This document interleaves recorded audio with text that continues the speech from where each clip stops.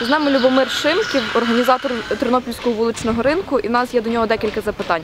Любомир, як, як з'явилася ідея створити такий захід і як взагалі втілювалася ця ідея в життя?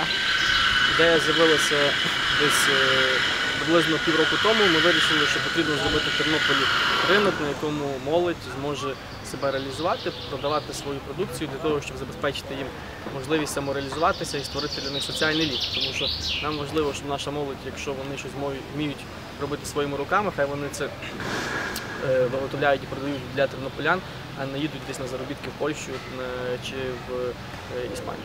А чим для Тернополя, як для міста, є така ініціатива? Ну, для Тернополя це проект е, унікальний, тому що е, такого ще не було, і ми хочемо цей проект робити системний для того, щоб е, в Тернополі молоді люди знали, що от вони можуть прийти, навіть якщо там я ще не є професійним якимось майстром чи професійним кухарем, я можу тут прийти і мені допоможуть, порадять, і я зможу тут себе запрезентувати. В якого можливо фестивалю чи заходу, чи в якої країни запозичили власне такий формат ринку?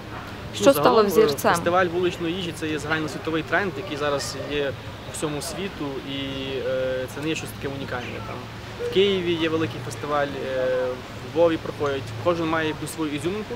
У нас ізюминка та, що у нас е, основний акцент зроблено на молоді. Тобто е, участь в ньому в першочергово пріоритет ми надавали молоді.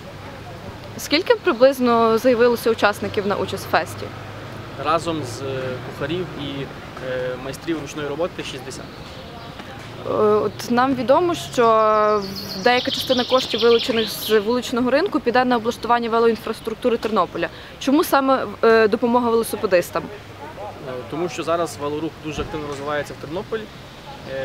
Ми дуже співпрацюємо з спільнотою Вело Тернопіль і ми хочемо допомогти їм фінансово, тому що ініціатива без фінансової підтримки вона не буде реалізовано. Дякуємо, успіху! Дякую.